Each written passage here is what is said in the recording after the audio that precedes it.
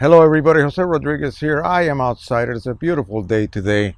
And I decided to demonstrate the magic of the so-called electronically controlled or stabilized gimbal system that the now famous Bebop 2 from Parrot utilizes to allow the camera to pan up and down. And depending on the controller that you use, you can also pan to the left, to the right, and at any angle throughout its complete trajectory. I'm going to go ahead and pop this on my little pedestal that I have here and I'm going to go ahead and demonstrate that and you will be able to see what I am talking about. We're going to do a video recording.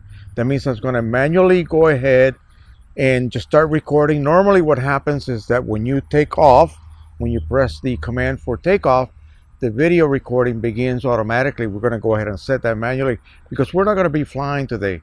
Now, as you can see here, I have something that is not stock when it comes to these.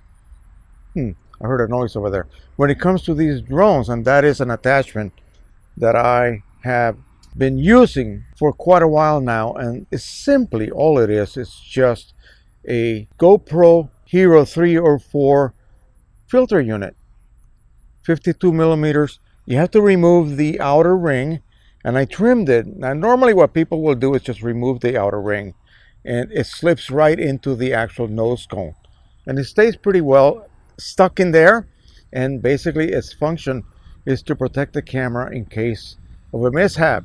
If you run it into something, you will harm that lens that sticks out as you can see.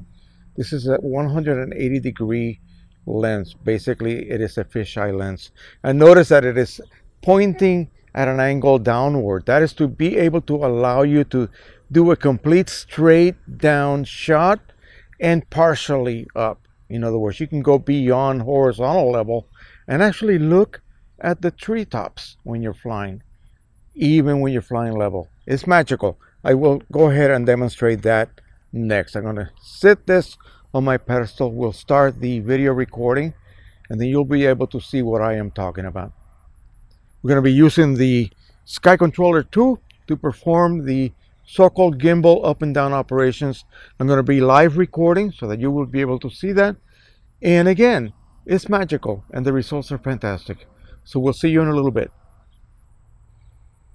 Alrighty, so we are now recording full video, 1080p video. So I am looking straight out as you can see my little front garden here the sun is going in and out, so you might see a slight difference in the video quality as the light changes, but nevertheless, we're here to demonstrate how the gimbal works now. As you can see, very gradually I'm moving the gimbal up. All it is doing is simply panning through that 180 degree so-called optical sphere. And notice it is able to look up. That is unlike practically every mechanical gimbal out there. I think this actually performs a better stabilization process than most mechanical gimbals that I know actually do. And this is even wearing the filter. As you can see, I have the filter right there and it is not cutting off or causing any kind of cut off of the image. So now I am looking basically at an angle of about 45 degrees straight up now we're going to go ahead and try to look down. We're going to go ahead and very gradually move it. I'm going to show you the top speed. Now this is while you're flying, you can do a very gradual pan.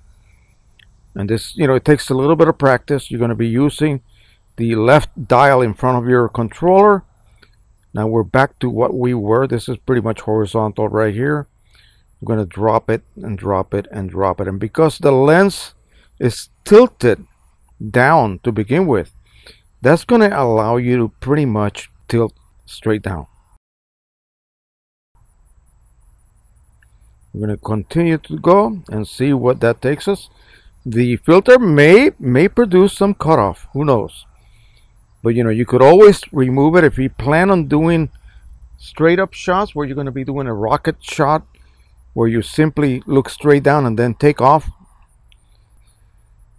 Look at that. We are looking straight down into the sidewalk. You may even be able to see the, yeah, there's the pedestal. Here we go. I'm going to say hello. I'm going to stick my hand out in front of it. So we are all the way down now. I'm Gonna, that's my shadow.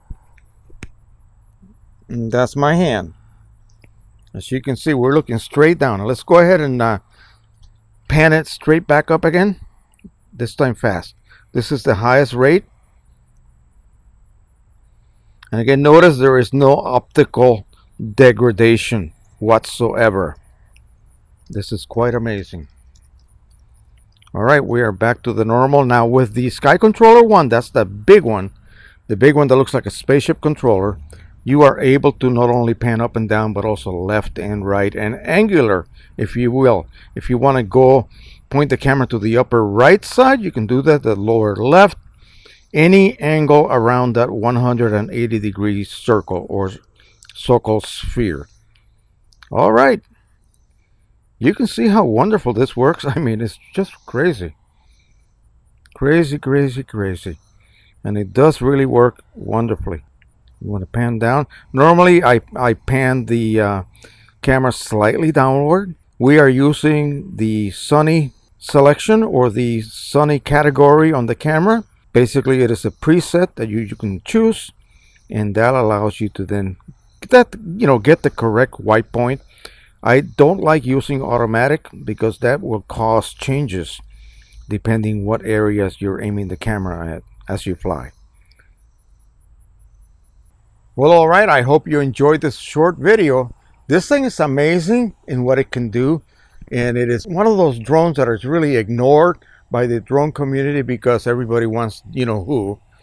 This is a great performer, folks. You can get them. I just saw a kit, full kit, Sky Controller 2, the drone, brand new battery, practically new battery. In fact, often, my cable is tangled up, often what you get is a drone that came from an open box. And uh, $194 is what I saw the other day. They had about 14 of these available. I almost bought another one. That would make number three. But really, I'll probably wait for my birthday for that. So I, I know they're going to have them still available. If I see that they're becoming more scarce, then I'll go ahead and buy me a slightly more premature birthday present. That'll be this mid-September. All right. Thank you so much. Don't forget to subscribe and share and like. If you like drones, this is the place to go. I will be specializing on Parrot and also on Yuneec. Thank you so much. Happy flying, everyone. Bye-bye.